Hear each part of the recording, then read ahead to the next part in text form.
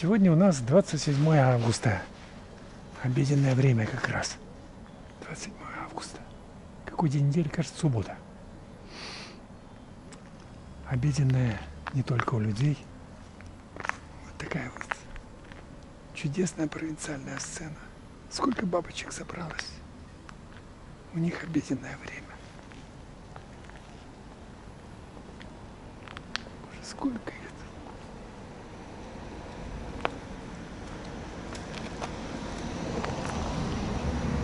Забыл, как они называются, довольно известные бабочки. Они как хлопья сажи. Упс. Привет.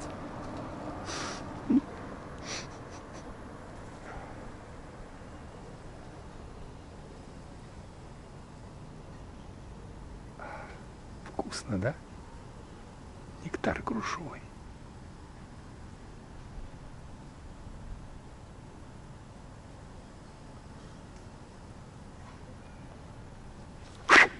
Есть ли у них слух?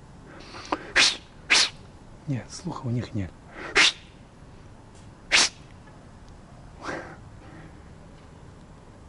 Путем эксперимента научного мы установили, что у бабочек слуха нет. Я вспомнил о том, как ученый установил, что уши у таракана находятся в лапках. Эй, эй.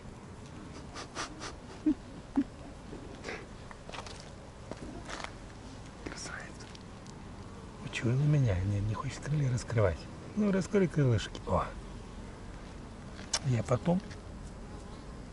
Да никак у них тут брачный сезон. Какая очаровательная пара.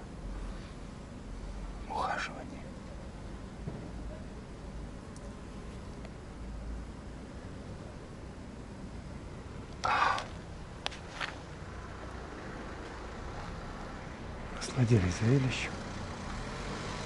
Такой редко встретишь. Острый запах падалок. Кислый такой кислый.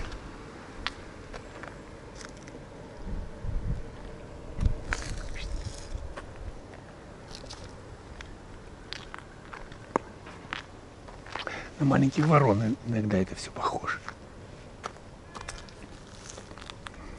Посматривать одним глазом на велосипед.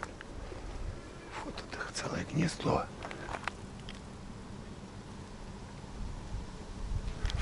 О, а зрение у бабочек есть. Точно. Слуха нет, зрение есть. Поедем.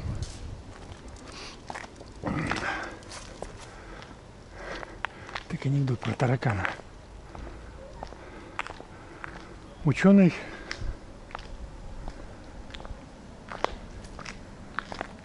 посадил таракана на стол и хлопнул в ладоши. Таракан побежал. Это первый опыт. Второй опыт. Ученый оторвал у таракана лапки, посадил на стол и хлопнул в ладоши. Таракан не побежал. Отсюда вывод. Органы слуха таракана находится в лапах. Очевидно.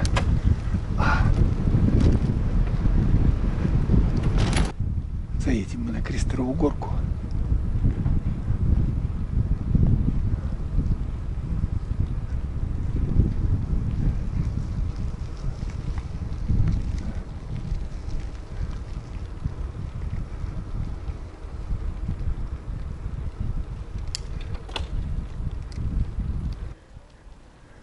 Выгорает немного трава от жары.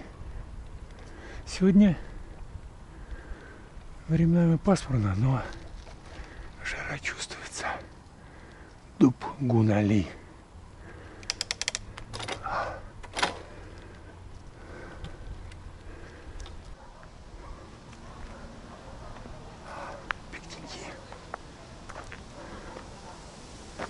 Да, все-таки выходной.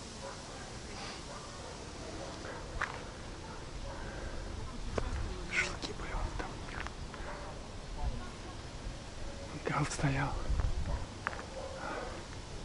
Да. Образно говоря, доедают, публика доедает самый сладкий кусочек лета. Последний доедает. Со вкусом. Надо его доесть, не торопясь и с наслаждением. Этот кусочек лета последний. Потом еще будет осенний тортик, тоже неплохой. неплохой. Весьма своеобразный, но неплохой. Сейчас поищем наш опус. Где-то он тут должен быть. Эпикурейские размышления с утра из записок велосипедиста. Можно так сказать, эпикурейские мотивы. Когда я умру, я не буду сильно по себе плакать. Да и как вообще это можно себе представить? Я сижу и плачу над своим несчастным, недвижным телом. Впрочем, нашему воображению по плечу даже и не такое. Надо признать, что, что наше воображение слишком уж смело. Как ты можешь плакать и ужасаться, когда тебя уже нет? Ведь получается так, что несмотря на то, что тебя уже нет, ты еще есть и ужасаешься тому, что тебя уже нет. Просто какой-то бред. Какая-то странная дикая смесь. Разве логика в этом есть? Никакой. Поэтому мысли, вместо мыслей абсурдных, лучше рекомендовать полный душевный покой. Умен был Сократ. Умнее нас, как минимум, востократ. Мыслил он так глубоко, что нам даже такое не приснится. И вот однажды он сказал, что человеку лучше было бы не родиться. Трудно с этим поспорить, просто блестящая аксиома. Сидишь тебе в небытие, в тишине, покое, словно отдыхаешь дома – и вдруг тебя вытаскивают из уютного места на этот свет, а ты отбиваешься, плачешь, кричишь, нет, нет, нет. Да, да, да, говорит судьба, твое мнение никому здесь не интересно. Приходится подчиниться. Хотя очевидно, что все это очень нечестно, несправедливо, обидно, нехорошо. Ведь никто не спрашивал твоего мнения. А просто взяли и поставили перед фактом. Нет бы дать время на размышления. Подрастя и набравшись опыта, замечаешь, что в окружающем мире обстановка сложная. Говорят и пишут одно, а думают и делают совсем противоположное. Много шумят и вечно спорят, и все совсем не согласны. Все непрерывно чего-то хотят и по преимуществу несчастны.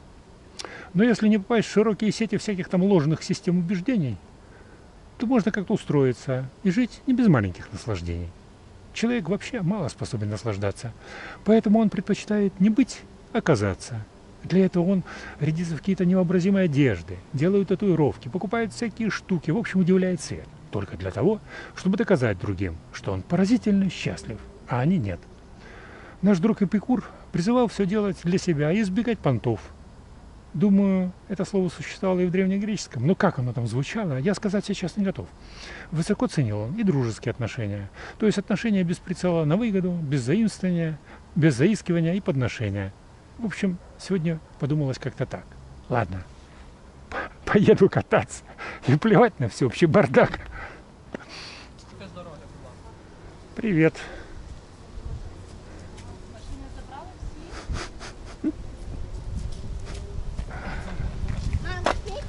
Испугались клопы. О боже. О боже, ты пиздец, рыцарь. Я не был готов, честно говоря. А... Ух ты, что я здесь вижу, это я по Сырецке поднимаюсь. Еду я на Соломинку. Решил сегодня так, по Сырецкой, ради разнообразия, ехать. Тут, оказывается, реставрирует фасад бывшие, может быть, и нынешние музыкальные школы. Вот это храм.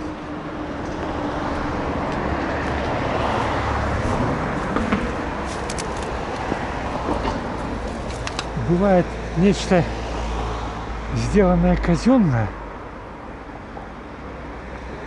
оказывается, при всей своей некрасивости может быть очень внушительно безобразно красиво, скажем так. Вот это вот отвратительно красиво. Так не надо.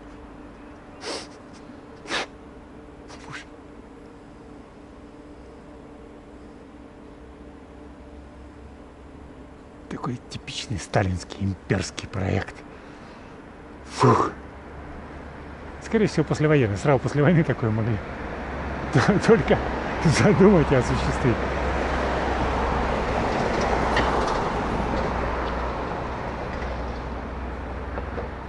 Пока был силен еще такой дух победителя.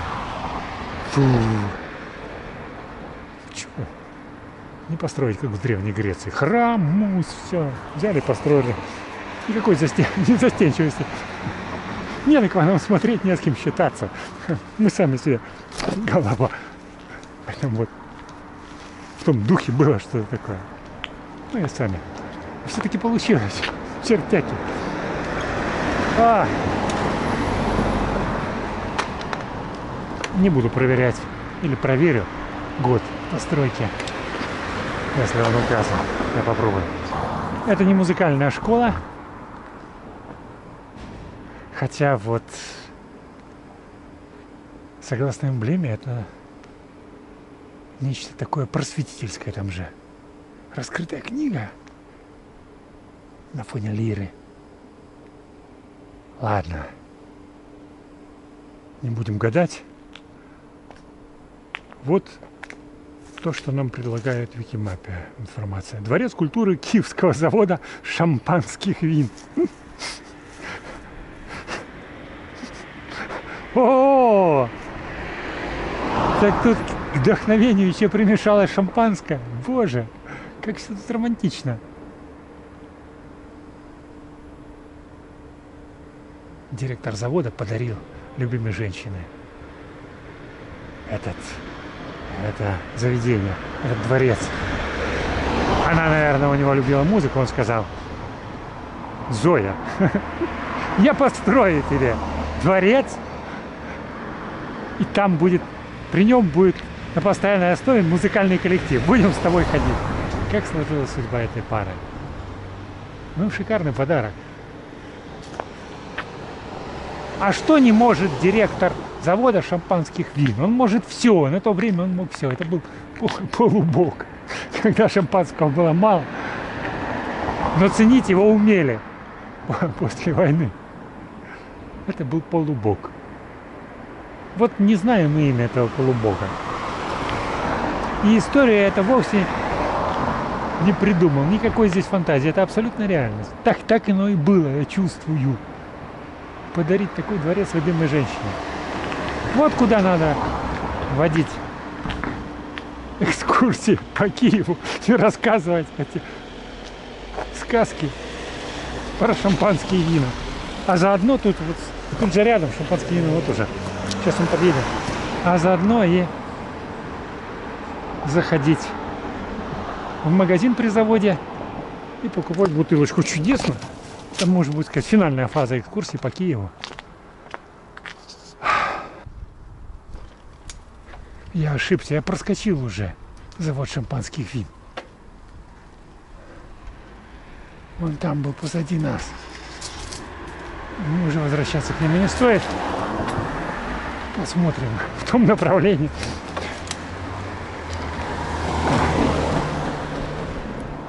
Проехали. Не будем